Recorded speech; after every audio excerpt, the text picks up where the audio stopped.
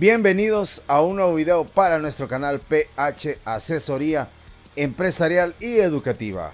En este video de asesoría empresarial, perdón, de, asesoría educativa, ya me estoy confundiendo últimamente en, en, estos videos que hemos desarrollado en esta semana, pero bueno, es parte, es parte de la, de la de hacer en vivo este tipo de, de, y no estar eh, amarrados a protocolos de de, de como de un guion en el cual debo seguir, sino que aquí lo hacemos como debe de ser. Bueno, vamos a hablar del tema de ahora. Este, nos vamos a enfocar o vamos a continuar, mejor dicho, en el tema de la física. ¿Se acuerdan que en el video anterior iniciamos con lo que era la lo que es dinámica, no, estática de partículas? Pues al día de ahora vamos a seguir con el desarrollo de otro caso a partir del hecho de, quizás no expliqué en el video anterior un poco la parte conceptual. La estática no es más que el equilibrio de todas las fuerzas, incluso el equilibrio de las energías generadas. Entonces yo puedo verlo desde el punto de vista de fuerzas como también de sus momentos que se generan. en este caso traigo un, ejemplo donde vamos a ver unos pesos eh, que están haciendo un equilibrio y a partir de ellos pues poder determinar y analizar cualquier variable que queramos conocer dentro del sistema eh, en relación a los fenómenos físicos que se dan. Así que vámonos al video, vamos a, a desarrollarlo en este momento. Ahora sí vamos a hacer uso de la pizarra. Así que acompáñenme.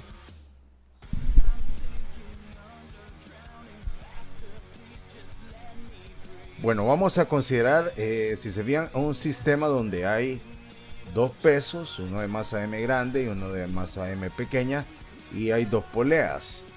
Eh, el peralte de esta inclinación es de 37 grados. Y vamos a, lo que nos piden, leamos, dice, considerando que en el sistema todas las superficies son lisas, o sea, no hay fricción. Vamos a asumir de que no hay pérdida de energía, no hay fricción. Y que el bloque M, el mayúscula, no sé por qué aquí se ven iguales, pero en realidad el bloque M mayúscula recibe una reacción de 160 newton de la superficie. O sea que la normal de este peso respecto a esta inclinación es de 160 newton. Eh, determinar la masa M, o sea, lo que hay que conocer cuánto vale M. Si la polea pesa, o sea, esta polea pesa 20 newton y el sistema está en equilibrio, o sea, esta porque está, alguien me podría decir, ¿por qué estamos tomando esta, este, esta polea esta no? Esta no está incurriendo en peso porque acuérdense que aquí tiene un adaptador, que eso hace que el peso pues no afecte al sistema, pero en este caso sí, porque esta, esta polea está tensionada con la misma cuerda o, que lleva a la masa M, a esta masa grande, que es la M mayúscula. Y esta polea eh, tiene una misma cuerda que está, si se fijan, empotrada a un bloque. Pero además cuelga este bloque con masa M minúscula. Entonces, vamos a, realizarlo. ¿Cómo se desarrolla en este caso? Estamos hablando de estática. O estamos hablando de equilibrio de fuerzas o de momentos. Para este caso vamos a asumir solamente lo, que sucede en cada uno. Vamos a, a priorizar lo siguiente. Vamos a llamarle a este, a este, a esta parte le vamos a llamar A. A este le vamos a llamar B. Y a esto le vamos a llamar C. Entonces comencemos a desmenuzar este, este, esta parte. ¿Cómo? Con diagramas de cuerpo libre. Diagramas de cuerpo libre. Le vamos a poner DCL, que es diagrama de cuerpo libre. Vamos a ver de la parte A nos va a quedar de la siguiente forma. Si se fijan, vamos a la estructura. Algo así. Este es el ángulo. Aquí está la masa. Entonces, el peso, como el peso siempre va hacia el centro de la Tierra, va de esta forma. Ese peso es la masa mayúscula, M mayúscula, perdón, por la gravedad. Y esta horizon, bueno, esta superficie le va a causar a este cuerpo de masa M una normal que ya me dan el dato. En la normal dice que es 160 newton. Es una fuerza reacción que hace esto. Y esta sufre una... Eh, lo, podemos, lo podemos llamar de la siguiente forma. Si se fijan, aquí hay un ángulo y este ángulo es de es este mismo, es de 37 grados. Ya lo tenemos. Ya tenemos todos los datos. Aquí podemos hacer entonces equilibrio de fuerza para encontrar las diferentes variables. En, ah, nos falta esto, la tensión. Porque aquí si se fijan, está la cuerda la cuerda que tensiona a esta masa M. Lo vamos a colocar acá. Este voy a llamar T. Tensión. Y sabemos que T es la masa mayúscula, la masa M. Va, quitemos todo. Entonces vamos a comenzar. Vamos a poner el plano de esta forma. Miren. Para que sigamos la misma estructura de la inclinación. Este es X y este Y. Entonces, ¿cómo nos quedaría acá? Vamos a ver, sumatoria, vamos a ver. Sumatoria de fuerzas en X. Debería ser cero, porque hay un equilibrio. Las fuerzas que se dan, si se fijan, es la tensión es una, va hacia al lado negativo, si sigo la regla que he colocado acá. Y hay una componente del peso también. Ustedes ven, puede ser este, Ah, entonces eh, va hacia acá, va al lado positivo, va a ser igual a la masa mayúscula por la gravedad. Ahora esto es, esto es, si aquí está el ángulo, esto es seno. Por el seno, ¿de cuánto? De 37.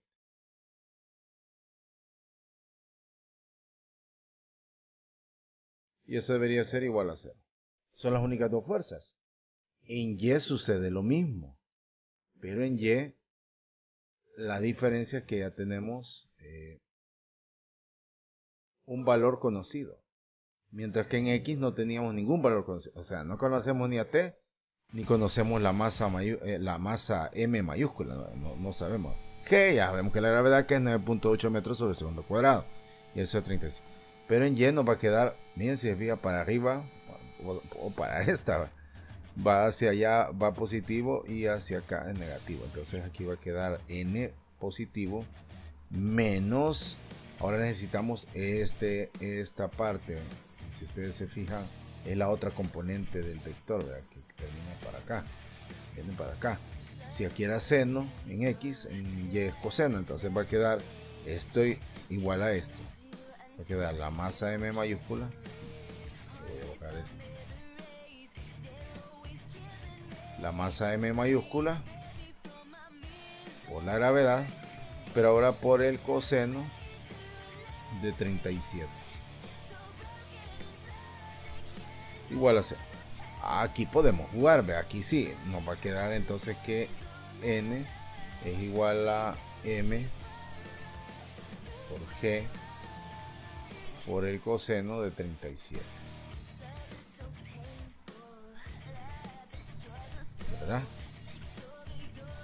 Porque este estaba negativo pasa positivo. Entonces ahora la idea es despejar, porque el valor que tenemos es m. Al conocer m ya podemos encontrar 3. Miren cómo va la cadenita. Entonces, esta parte que voy a subrayar, uy, perdón, borré.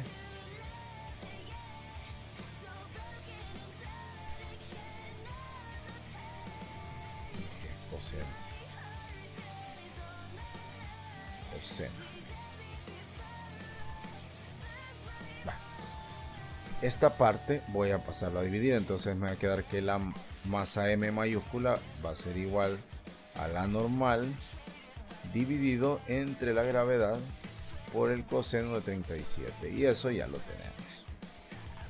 Sustituyamos sería igual a la, la normal es 160 dividido entre 9.8 porque eso vale la gravedad por el coseno de 37. ¿Cuánto nos da eso? Veamos. Y aquí con esto ya tenemos la masa m mayúscula. Veamos. Hagámoslo, ustedes lo pueden hacer en su casa, siempre acompañándome. Sería 160 entre paréntesis 9.8 por el coseno de 37. Y esto nos da 20.44. Entonces esa es la masa M.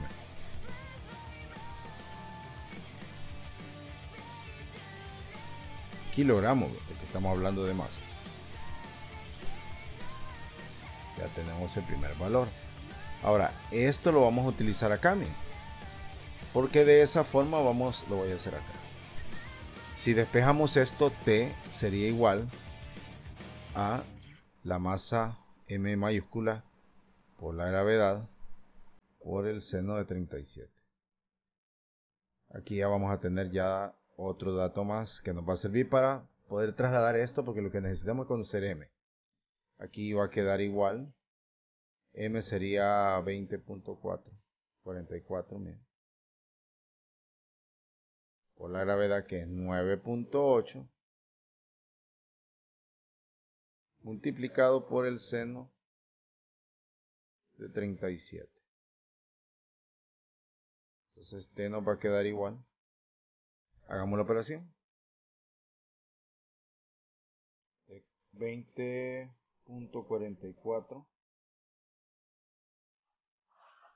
20.44 por por 9.8 por el seno de 37 y eso da que la tensión, miren, es de 120.55 newton. Aquí sí ya es una fuerza. 120.55 newton. Esa es la tensión. Ya con este dato, ya nos podemos ir a, analizar. Ahora vamos al diagrama de cuerpo libre, pero ahora lo vamos a hacer por acá. Lo vamos a hacer. Vamos a tratar de minimizar este espacio. Ahora en B. En B es la polea. Miren, si ustedes se fijan, vamos a, bueno, aquí no sería necesario B, pero C sí. Lo voy a bajar. C sí, porque C nos va a dar el valor, el valor de, eh, de diagrama de cuerpo libre de donde está esta masa, que es la que nos interesa en este momento. Entonces nos va a quedar de la siguiente forma. Aquí va a ir la polea. Aquí va a venir una tensión que le voy a llamar T1, por ponerle un nombre. Igual acá va a ver, es la misma tensión. Pero ojo, esta va a estar equilibrada con el valor T que tenemos acá. Es el que calculamos. Entonces, aquí solo hay, si se fijan, fuerzas en Y. Entonces, planteémoslo. Eh, va a quedar la sumatoria de fuerzas en Y porque no hay más. Sumatoria de fuerzas en Y igual a 0. Entonces nos va a quedar, miren, veamos, asumamos que el Y positivo va hacia arriba. Entonces va a quedar T menos, es como que sumara, me va a quedar 2T1 es igual a 0. Ah, entonces aquí está fácil porque T dice que no va, a ser igual a 2T1 al trasladarlo al lado, al lado derecho. Y al dividir entonces nos va a quedar que T1 va a ser igual a T entre 2. O sea, en otras palabras, hay que dividir 120.55 eh, entre 2. Eso entre 2.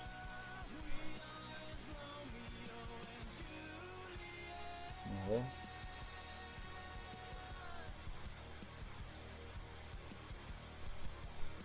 Esto nos va a dar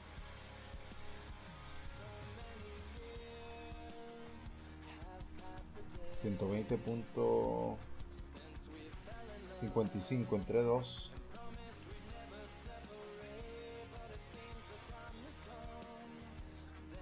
da un valor de 60.28 aproximadamente. 60 6.28 newton. Ah ya con eso entonces miren qué vamos a hacer vámonos al último peso que es este eh, que es así. En la última masa perdón yo los, diagramas de cuerpo libre los estoy colocando en azul. Se me había escapado. Pero acá nos quedaría miren vamos a poner el peso. Este peso que es la masa M minúscula. Está afectada, miren, por la tensión T1, que así le colocamos, y abajo va a ir su contrapeso, que sería la masa por la gravedad. Entonces, si aquí hacemos también, voy a pasar esto para, para diferenciar, si aquí hacemos un equilibrio, sería igual que el T1 en Y, T1 es igual a la masa pequeña por la gravedad. Entonces T1 entre la gravedad es igual a la masa. La masa va a ser igual a T1. T1 vale 60.28.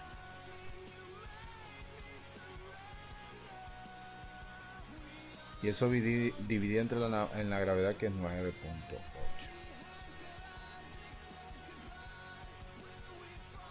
voy a ponerlo para acá que ya no me cabe entonces la masa o sea que es lo que estaban pidiendo eh, o sea hemos si se fijan hemos en este para no estar ocupando más pizarra vea he utilizado esto entonces vamos a dividir 60.28 60.28 aproximadamente lo dividimos entre 9.8 y ahora sí tenemos el valor es 6 la masa es de 6.15. Lo voy a hacer acá más para acá que no cabe. La masa es igual a 6.15 kilogramos. Así de fácil y de sencillo. Esto lo voy a encerrar en azul para que se distinga sobre las demás. Esta es la respuesta. Así que hemos optimizado en este sector, ¿verdad? El desarrollo de este ejercicio. Espero me hayan entendido. Aquí ya con esto pues contemplamos el tema ya estática. Vamos a continuar con otro tema de física el próximo viernes. Así que atentos y vamos a continuar. Muchas gracias para los que nos están acompañando. Con esto hemos dado por finalización el que es el desarrollo de lo que es la estática. Es un área de la física que me gusta mucho porque podemos comprobar muchos hechos, incluso en el área de ingeniería se ocupa mucho este tipo de temas, así que es interesante conocerlo. Espero que me hayan entendido, hemos tratado de explicarlo de una manera sencilla, lo más fácil que se pueda. Así que espero que nos apoyen, como decimos siempre, no olviden suscribirse, compártanlo con otras personas para que conozcan lo que estamos haciendo como canal PH y denle clic a la campanita para que le lleguen las notificaciones de los videos que estamos desarrollando los días eh, miércoles, jueves, viernes, sábado y domingo. Así que agradeciéndoles como siempre lo hacemos, apóyennos en la caja de comentarios, por favor escríbanos si ustedes quieren sugerirnos algo para mejorar o un tema que ustedes quieran que nosotros abordemos con gusto, estamos para complacerlos. Así que de mi parte, agradecerles nuevamente y nos vemos en un próximo video.